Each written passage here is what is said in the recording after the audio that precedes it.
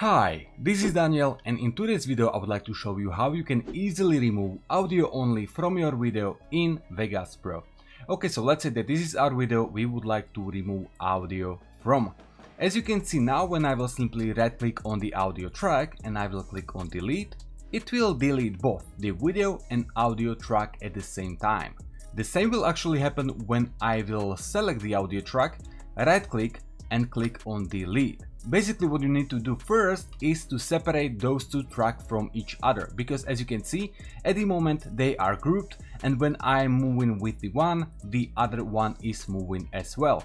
So for this in case you want to separate those two you want to select the audio track you will right click go to group and remove from or you can also click on U as you can see. So I will click on this one and now, as you can see, we can freely move with the audio and video track separately. So now all we have to do is simply select audio track, right click and click on the delete.